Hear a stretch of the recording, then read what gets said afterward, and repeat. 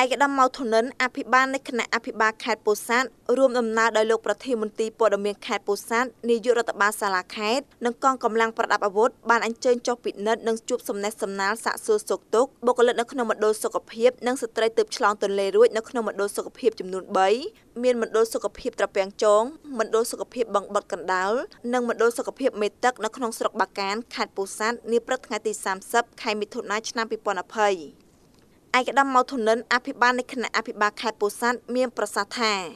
សូមឲ្យមន្ត្រីដែលបម្រើការងារនៅក្នុងមណ្ឌលសុខភាពទាំងអស់ត្រូវយកចិត្តទុកដាក់បំពេញតួនាទីភារកិច្ចរបស់ខ្លួនដើម្បីបម្រើសេវាសុខភាពសាធារណៈជូនប្រជាពលរដ្ឋបានល្អប្រសើរ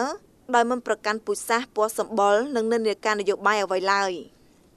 ជាពិសេសអនុវត្តបាននៅក្រមសីលធម៌វិជ្ជាជីវៈបម្រើប្រជាពលរដ្ឋឲ្យអស់ពីកម្លាំងកាយចិត្តមិនគិតពីការលំបាកនឿយហត់ទោះបីយប់ឬថ្ងៃក៏ដោយ។ ឯកឧត្តមក៏បានផ្ដាំផ្ញើដល់ក្មួយក្មួយដែលទើបតែឆ្លងទន្លេរួចត្រូវថែរក្សាសុខភាពបរិភោគអាហារដែលមានជីវជាតិដូចជាបន្លែសាច់ស៊ុតដើម្បីជួយបំពេញសុខភាពម្ដាយនិងទារកត្រូវស្ដាប់តាមការណែនាំរបស់គ្រូពេទ្យបំបើកូនដោយទឹកដោះម្ដាយយ៉ាងតិចរយៈពេល6ខែឯកឧត្តមមានប្រសាសន៍បន្តទៀតថាសប្តាហ៍ថ្ងៃនេះជំងឺ Covid-19 កំពុងរីករាលដាលលើពិភពលោកបានសម្លាប់ជីវិតមនុស្សអស់រាប់ម៉ឺននាក់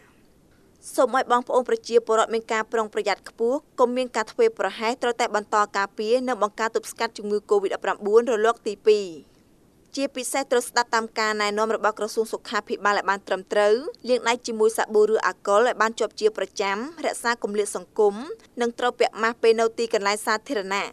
ក្នុងឱកាសនោះឯកឧត្តមក៏បានផ្ដល់ជូននូវវត្ថុកំដរដៃដល់ស្ត្រីដែលទើបឆ្លងទន្លេរួចនិងត្រៀមឆ្លងទន្លេក្នុងម្នាក់ទទួលបានសរុប3ថវិកា40000រៀលព្រមទាំងបុគ្គលិកនៅក្នុងមណ្ឌលសុខភាពនិងប្រជាពលរដ្ឋដែលមកទទួលសេវាពិនិត្យសុខភាពក្នុងម្នាក់ម្នាក់សរុប1ផងដែរ។